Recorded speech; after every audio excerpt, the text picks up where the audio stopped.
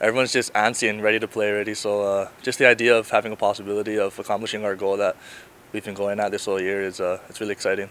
Yeah, I don't. I don't think we need to do uh, a lot different or reinvent ourselves. You know that we have uh, kind of established who we are and what we're good at, and uh, and just go out and play our game. And uh, on most nights, it's been good enough. Yeah, we take pride in our defense. I think that's the most important. Uh, everyone always says defense wins championships. So, um, no, we're going with a lot of confidence behind that, definitely.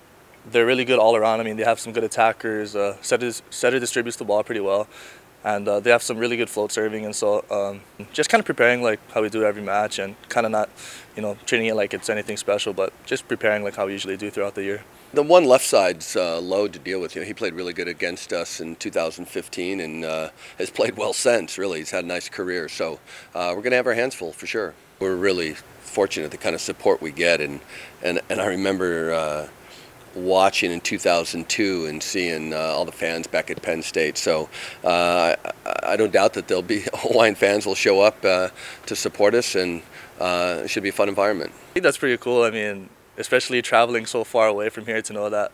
Uh, we have a crowd, and I'm not surprised, man. The crowd that we bring to the stand follows us, you know, across the country. That's pretty sweet.